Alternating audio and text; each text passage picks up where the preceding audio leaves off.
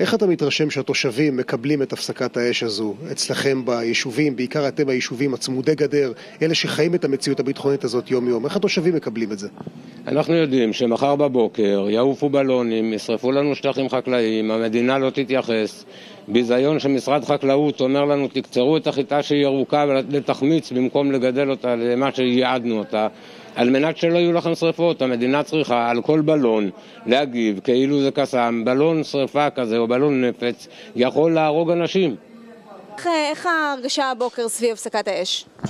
הרגשה נפלאה, לקום בבוקר ולבוא לעבודה ולדעת שאנשים יתחילו לזרום שוב לשוק זו הרגשה שאין כמוה. היינו עשרה ימים פה בשיממון ואחרי הקורונה שסבלנו פה שנה שלמה בא לנו הסבב הזה של המלחמה בדיוק בזמן הכי חזק של החגים. אתה שמח שהמבצע נגמר וחוזרים לשגרה? בטח, בטח. אני שמח שאני לא יושב בממ"ד. אתה חושב שזו החלטה נכונה של הממשלה להסכים להפסקת האש הזו? תשמעי, יש הרבה סיבות אה, שאפשר להתווכח עליהן. קודם כל, אנחנו רוצים שקט גם לתושבי הדרום. זה לא רק אנחנו פה בתל אביב.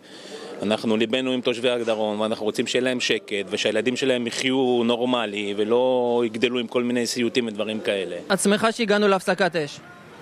אה, כן ולא. אוקיי. אתה מאמין להפסקת האש הזו? מאמין, לא מאמין כל כך, אבל uh, מקווה שיהיה הפסקת אש, שנחזור לשגרה. וזהו. ורק אתמול חגגת יום הולדת אה, שלוש לבת שלך, לקולות האזעקה. נכון, חגגתי לה יום הולדת, היה יום הולדת קשה. כל uh, שתי דקות נכנסנו למעמד. אבל בסדר, אין מה לעשות, זאת... Uh, אנחנו... יש לך הערכה בעוד כמה ימים, שבועות, חודשים, תחזור לממ"ד?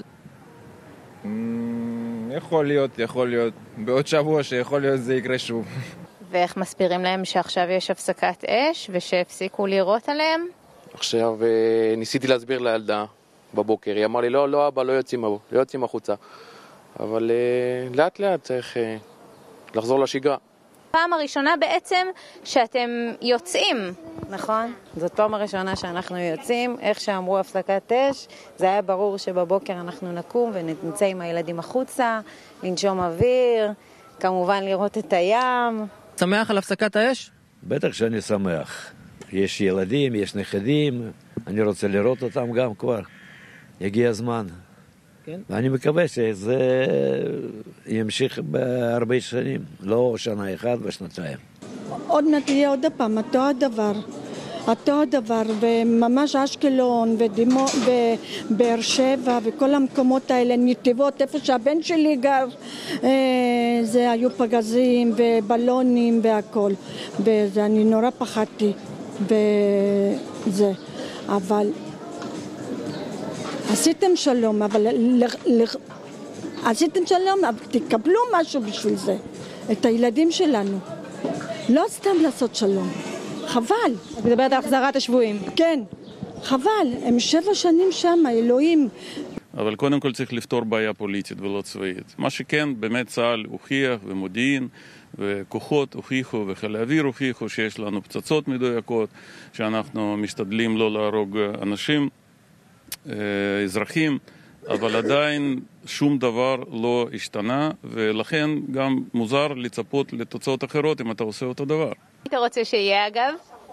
את האמת אני הייתי רוצה שיהיה הרבה יותר שלום עולמי מאשר כל דבר שאני הרבה יותר רואה בחיים שלי.